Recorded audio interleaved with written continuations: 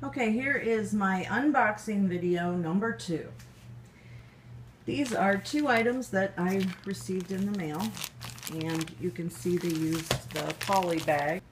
Okay, I guess it helps if I hit record when I'm um, unpackaging, unboxing. So this was, um, excuse me, the big bag. I cut it at the top, and I received poly bags that I ordered on eBay and I wanted to open these right away because I may be doing shipping and I need, well I am doing shipping, I need them.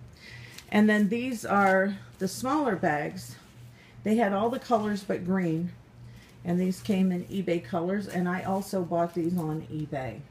So that's it for this unboxing video. We had two sets of poly bags.